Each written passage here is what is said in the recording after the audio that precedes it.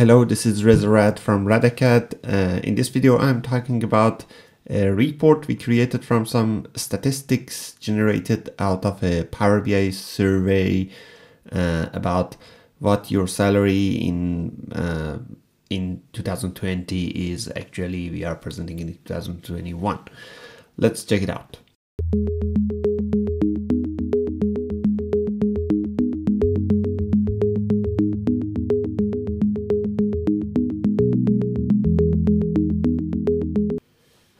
Last year we did this survey once uh, at the end of 2019 we started the survey. At the beginning of 2020 we published the report. Uh, this year uh, we did it again. So we had a call for um, call for filling this form. Uh, the link to the to this form is available down in uh, description below you'll find my blog and from there you'll find the link to this form. It's a mm, quite simple form you enter your salary in your local currency country and and some information like that. Uh, and that would lead to a live report generated out of that uh, real-time actually report uh, which uh, push this information using uh, Microsoft Power Automate called Flow as well um, into a real-time streaming data set and uh, that shows the report just without any cleaning or anything like that. So uh, what uh, we have done is to create a cleaned version of that report because mm, like some people entered all kind of uh, values and numbers. So we cleaned those information. We used some ways to adjust the currencies because they've been all in local currencies. Now they are all in uh, US dollars. Uh, there are multiple pages of this report. The link to the report is also down in my description, uh, in description down in uh, my blog. Uh, so this report at the moment actually shows everything in US currency based on some currency exchange provided from a website called xe.com uh, using some Power Query functions uh, to looping through and find uh, the exchange rate based on the day that this ran and, and provide this result. Uh, there are a few things to consider by the way like first is that we did some uh, outlier detection that is uh, basically Leila's magic wand to provide those kind of information. Um, like here, you see that there's a slicer for that. If I uh, remove that, I very likely get numbers that might not be that much valid.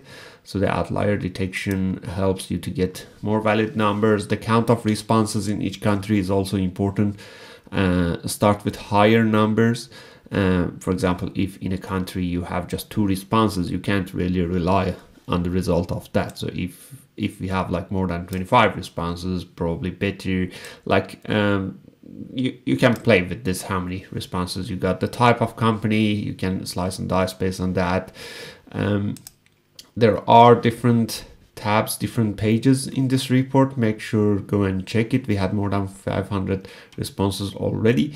Um, and would be good to have more responses. Uh, you can encourage others to do that, share this information. We'll make sure that if we have more responses, we'll feed that into this report.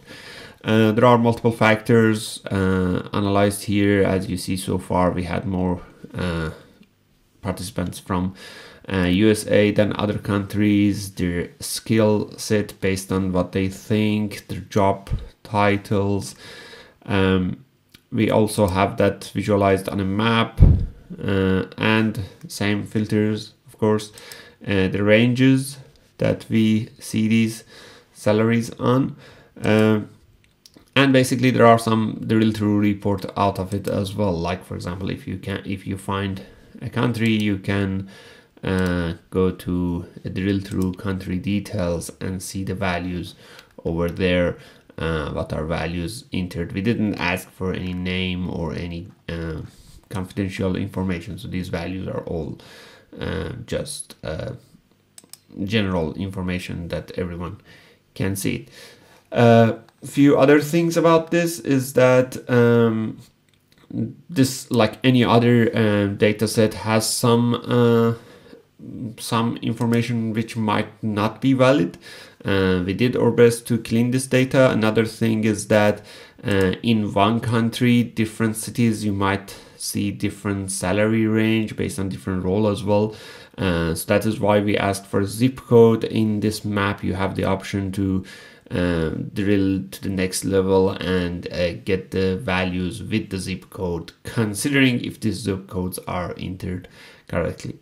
So go ahead and play with this um, report and see uh, what you can find. Let us know in the comments below. Um, if you like this video, go ahead and subscribe into our YouTube channel. We have weekly videos about Power BI.